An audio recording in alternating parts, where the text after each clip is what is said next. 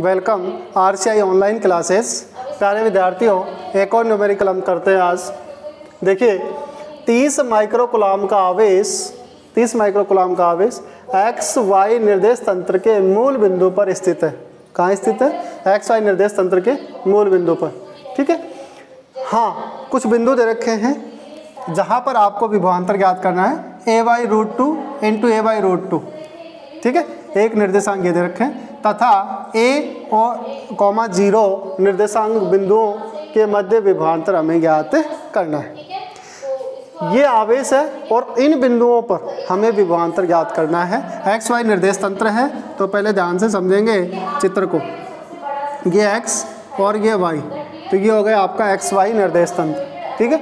मूल बिंदु है ये। मूल बिंदु पर आपका आवेश रखा है क्यू कितना है? तीस माइक्रो कुलाम जिसको हम लिख सकते हैं तीस गुणा दस की घात माइनस छः कुलाम। क्लियर अब बिंदु लगाइए। देखो ए कोमा ज़ीरो पर ये लगा लेते हैं। ए कोमा ज़ीरो जो है, वो कहाँ है? एक्स पर तो ए और वाई पर ज़ीरो एक्स पर ए और वाई पर ज़ीरो तो एक्स अक्ष पर वाई ज़ीरो रहता है। तो X comma A A comma zero तो इसका मतलब ये आ गया ए कोमा ज़ीरो ठीक है? एक है A by root two A by root two तो दोनों अक्षों एक्स से भी ए बाई रूट टू और वाई से भी ए बाई रूट टू दोनों के बीच में होगा कहीं? भाई क्लियर दोनों बीच में होगा, दोनों निर्देशांक सेम है।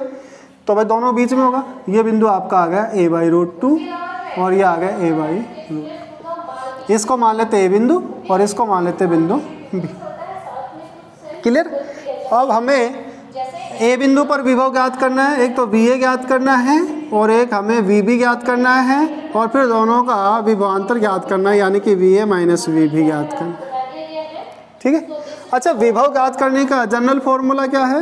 विभव ज्ञात करने का जनरल फॉर्मूला है वी बराबर के क्यू अपॉन आर इसका मतलब? हमारे पास आवेश है के का मान कांस्टेंट हमें पता है, और आर जो है, दूरी है। तो इसका मतलब इस आवेश से इसकी दूरी हमें ज्ञात करनी है। ये दूरी हमें ज्ञात करनी ठीक है?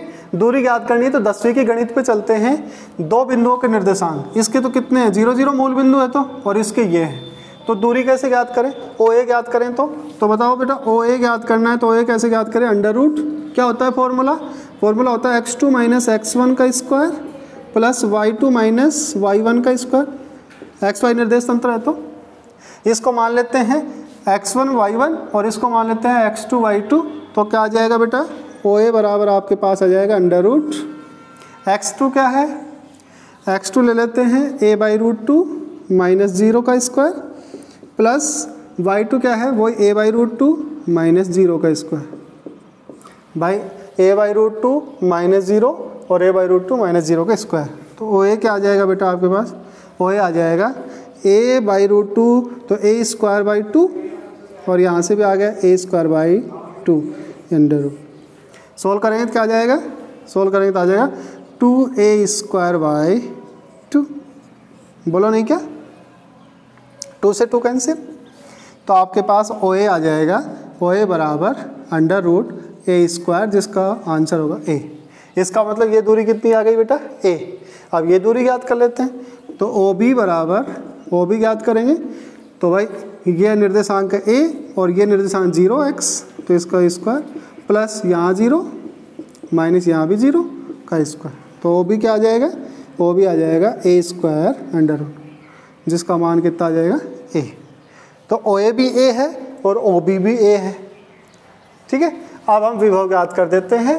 तो वी ए बराबर के का मान नौ गुणा दस की घात नौ गुणा क्यू क्यू का मान है तीस गुणा दस की घात माइनस छः और दूरी दूरी है ए ठीक है? और वी भी कितना आ जाएगा? वी भी आ जाएगा नौ गुणा दस की घात नौ के का मान, आवेश का मान तीस गुणा दस की घात माइनस छः और दूरी ए ध्यान से देखो, दोनों विभव समान हैं। दोनों विभव समान है तो क्या करें?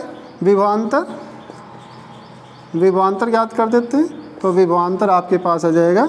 V A minus V B बराबर, बोलो, नौ गुणा दस की घात नौ। मैं इसको थोड़ा रफ कर देता हूँ। ये कटेंगे भाई ज़ीरो आ जाएगा विभवांतर। नौ गुणा दस की घात नौ माइनस तीस गुणा दस की घात माइनस छः बटे ए और माइनस नौ गुणा दस की घात नौ। तीस गुणा दस की घात माइनस छः बटे ए। कट गया? कट गया तो विभवान्तर आ गया। V A minus V B बराबर ज़ीरो। इसका मतलब इस बिंदु पर और इस बिंदु पर जो विभवान्तर है, विभव विभवान्तर की परिभाषा क्या है? दो बिंदुओं के विभव में अंतर और दोनों विभव में अंतर कितना आ गया? ज़ीरो। क्लियर तो इस तरह से इसको हम इस, ऐसे जो न्यूमेरिकल हैं, उनको इस तरह से सॉल्व करते हैं। कोई भी डाउट हो तो आप पूछ सकते हैं। वीडियो को लाइक करें, सब्सक्राइब करें और शेयर करें। ठीक है? आज के लिए इतना ही। Thank you class thank you so much